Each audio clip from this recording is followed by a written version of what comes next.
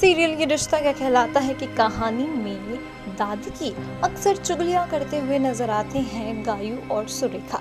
दरअसल इन दोनों को ये नहीं पसंद कि किस तरह से दादी सिर्फ़ और सिर्फ़ कार्तिक नारा और उन्हीं के परिवार के बारे में सोचती है। लव कुश या फिर वंश को लेकर वो कुछ खास प्यार नहीं जताती है। इस बात पर आपको बता दिया जाए तो कहानी में एक बहुत बड़ा टर्निंग पॉइंट आ रहा है।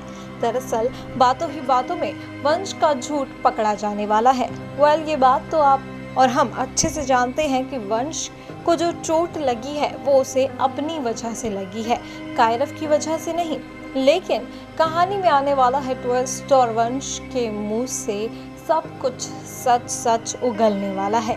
और ये सच सबसे पहले सुरेखा के सामने ही आएगा। देखना काफ़ी ज़्यादा इंटरेस्टिंग होगा कि अगर सुरेखा को वंश के झूठ के बारे में पता चलेगा तो क्या वो परिवार वालों से ये खुलासा करती हुई नज़र आएगी या फिर इस सच को छुपा कर रखेगी और सबकी नज़रों में कारक को ही मुजरम बना कर रखेगी। क्या कुछ होगा?